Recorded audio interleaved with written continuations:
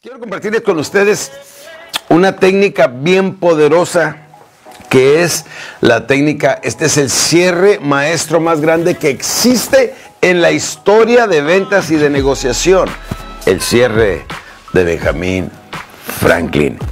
¿Están listos? Déjenme pongo de pie porque me emociono cuando, cuando ya empezamos a sacar los cierres maestros, estamos sacando verdaderamente la herramienta grande, campeones. Debajo de la manga estamos sacando nosotros la respuesta a la más grande de todas las objeciones, campeones. Y la más grande de todas las objeciones viene siendo déjeme pensarlo. ¿Te lo han dicho? ¿Alguna vez te han dicho, lo quiero pensar? Si no, ¿y qué haces? Muchas veces no hacemos nada. Y si no hacemos nada, pues entonces, ¿cómo lo vamos a rebatir? La gran mayoría de las personas se me quedan cuando dicen, ¿sabe qué? Lo deje, déjeme pensarlo, lo quiero pensar. O yo le aviso. La gran mayoría de los vendedores ahí ya terminaron de trabajar. Nosotros apenas empezamos a sacar el as debajo de la manga y nuestro trabajo como cerradores profesionales apenas viene. Este cierre que les digo de Benjamin Franklin, ¿saben por qué se llama el cierre de Benjamin Franklin? Porque mismo Benjamin Franklin es el que lo inventó.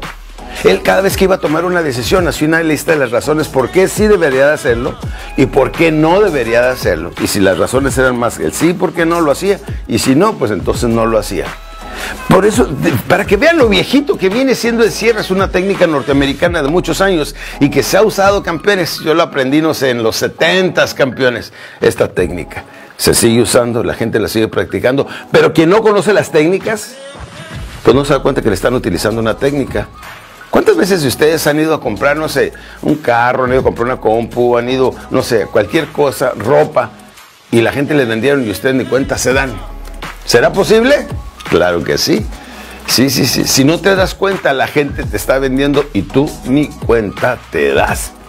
La respuesta al, déjenme pensarlo, wow, campeones, les voy a comentar algo. Una vez fui a tomar un curso que pues yo tendría, no sé, unos 23, 24 años cuando vendía seguros para American Fidelity en San Antonio, Texas. Vendía seguros en las calles, poco a poco, campeones, seguros de vida puerta a puerta. Qué difícil trabajo. Pero ¿cómo te enseña sobre la profesión llamada ventas? Teníamos la técnica de que cuando la persona abría, metes el pie para que no te cierren la puerta y puedas seguir hablando con ellos, porque literalmente nos cerraban la puerta físicamente. No estoy bromeando ni es en teoría, es en realidad te cierran así la puerta. Ay, campeoncitos, cuando no se sabe vender, ¿cómo la sufres? Entonces estaba en mi oficina y después de hacer llamadas y la gente no me quería tomar la llamada y me cortaban y me colgaban y no, no querían hablar conmigo, pues salí un poquito agarrar un poquito de aire afuera de la oficina y en eso voy viendo que en la oficina de New York Life, que estaban enseguida de nosotros, es donde estaban los riquillos, como decimos en México, los fresas. Los fresas son los que tienen dinero. Y nosotros éramos los pobrecitos, trabajo con otra empresa. Y va llegando un vendedor allí en un jaguar nuevecito del año, en aquel entonces con un traje de 2, 3 mil dólares. Se veía como un millón de dólares en efectivo ese carajo cuando lo veo y le dije, hey, este, ¿qué haces? ¿Por qué traes tan bonito carro y te vistes tan bien? Y me dijo, es que yo soy cerrador. Ah, dije, pues a mí me gustaría también ser cerrador de qué? De puertas. me dijo, no bromes, dijo, soy cerrador profesional, vendo seguros para New York Life. Wow, le dije, a mí me gustaría también ser cerrador para traer un auto de esos, para traer ese dinero y todo. Y me dice, ¿cómo no? ¿Cómo no? Necesitas tomar un curso intensivo para hacer la historia corta, campeones. Me vendió la idea de que fuera con, con eh, Tom Hopkins en Scottsdale, Arizona, en donde pues al fin conseguí la información porque en ese entonces no había internet, campeones. Al fin busqué, llamé, todo. Me voy para allá y me subo en mi pequeño automóvil, campeones. en mi pequeño automóvil que Ay, apenas llegaba, dije a ver si llega hasta, éramos como no sé, 10, 12 horas de manejar hasta Arizona desde San Antonio, Texas. El curso me costó 250 mil dólares. Bueno, en realidad me costó 250 dólares, pero como no tenía dinero, era todo mi capital, eran 250 mil dólares. Y me fui dos, tres días a tomar el curso con, con Tom Hopkins y aprendí los cierres que he estado por 33 años compartiendo con la gente, campeones. Entre ellos, este cierre de Benjamin Franklin. Y yo sé que para vender seguros era perfecto y cuando me volvieran a decir, lo quiero pensar, inclusive hice dinámicas, practiqué, me fui muy bien, hasta me dieron un reconocimiento por lo hábil que había sido para aprender todas estas técnicas. Yo soy hambriento de información y espero que tú también de información y de técnica, campeones. Entonces, vengo muy capaz de allá, manejando desde allá. Apenas llegué con los últimos 20 dólares a la bolsa y dije, pero ahorita voy a capitalizar todo lo del evento, ahorita voy a aprender todos estos cierres y todo, ahorita lo voy a aplicar y voy a recuperar mi dinero y ahora voy a ganar mucho dinero, voy a traer un jaguar negro como el de este chico, sus trajes y ese tipo de estilo de vida, también lo voy a tener. Pues hago citas, llego con un señor a hacer una presentación, el señor Colunga, nunca se me va a olvidar en San Antonio. Y le estoy hablando de las ventajas y beneficios de del seguro. Y creo que ya les había dicho que, estaba el señor con cara así seria, ¿verdad? De, de así de, mm, el prospecto cara de piedra. ¿Se acuerdan que estábamos platicando de esto? Pues él era el típico prospecto cara de piedra, campeones, y cuando lo vi, llegué, igual que muchos de ustedes se equivocan a la conclusión que no lo quiere porque no me está dando retroalimentación. Y cuando voy saliendo le digo, bueno, nos vemos y, y, y me dice, pues es que lo quiero pensar. Sí, sí, lo entiendo, lo entiendo. Y yo dije, le voy a usar el cierre de Benjamin Franklin, pero dije, no, pues todavía no lo he practicado muy bien, a lo mejor no me sale, mejor ahorita no me la juego, mejor ya me voy, mejor... Ya cuando me estaba yendo, campeones, abriendo la puerta, me devuelvo y le dije, eh, eh, me imagino que si lo quiere pensar es porque planea tomar una muy buena decisión, ¿sí o no? Pues sí. Permítame entonces dejarle una pequeña lista de las razones por qué sí, por qué no. Y eso es lo que hice, campeones. El cierre de Benjamin Franklin así es. Permítame dejarle una lista de las razones por qué sí y por qué no, con lo cual tomar una mejor decisión, sí o no. Entonces dice, sí, te sientas, fíjate bien.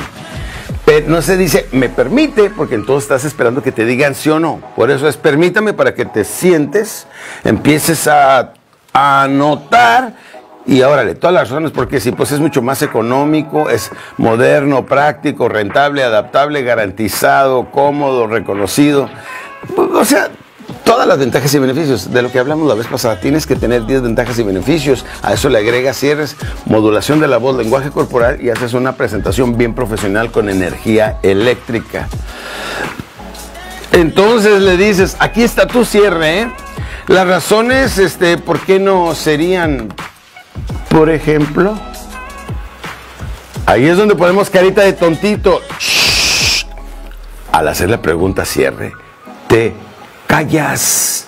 El primero que hable, pierde.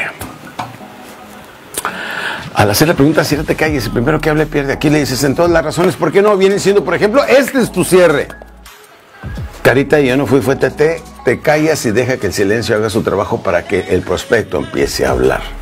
Cuando te digan lo quieren pensar, ya, ya decidieron ellos. Cuando yo le diga que lo quiere pensar, se me va a poner bien bravo y esto y el otro, pero aquí lo estoy esperando. Que no importa que me rebata. Pero cuando tú aceptas, ¿lo quiere pensar? Ah, sí, cómo no, no hay problema. Muy bien. Agarras tus cosas, nos vemos. Hasta la vista, baby. Y ahí es donde te regresas y te marchas y luego te regresas y paso número tres le dices, me imagino que si lo quiere pensar es porque planea tomar una muy buena decisión, ¿verdad? Cuando ya te contesta, le dices, entonces permítame dejarle una lista, paso número 4, y trazas la T. La T. En un lado le pones el sí y el otro el no. O sea, son las 10 ventajas y beneficios que las vas a volver a decir. Porque recuerda algo, cuando te dicen lo quiere pensar, lo que quieren pensar y si te quieren volver a ver en la vida, que lo más probable es que sea que no. ¿Por qué? Porque no hiciste una presentación profesional.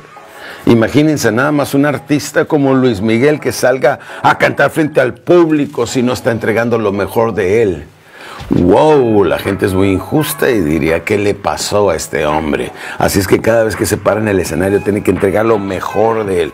Tú también, cuando estás con un prospecto, siempre entrega lo mejor de ti en cada una de las presentaciones, cuidando mucho tu modulación de la voz, tu lenguaje corporal y que puedas lograr esa conexión con la gente. Es muy poderoso y absolutamente necesario. Y número 5, las 10 ventajas y beneficios en el sí y luego las número 6, con esto cierras. Las razones por qué no serían, por ejemplo, y aquí te vas a la parte del no, del cierre. ¿Sabe qué? Lo quiero pensar. Paso número uno, aceptas, no hay problema, no rebates, no le pones resistencia ni nada. Número dos, nos vemos, hasta luego, hasta la vista, baby. Número tres, regresas. Oiga, oiga, hay ocasiones que yo echo el cierre de tal manera que vuelvo a tocar la puerta y le digo, oiga, una preguntita rápida. Me imagino que si lo quiere pensar porque planea tomar una muy buena decisión, ¿verdad? Sí. Número cuatro, permítame entonces, trasaslate, dejarle las razones por qué sí y número seis, las razones por qué no serían, ah, por ejemplo, este cierre, fíjense bien lo que les digo, este cierre te puede cambiar la vida. Porque si aprendes a negociar con este, pocas personas se te van a ir sin que logres tú lo que quieres.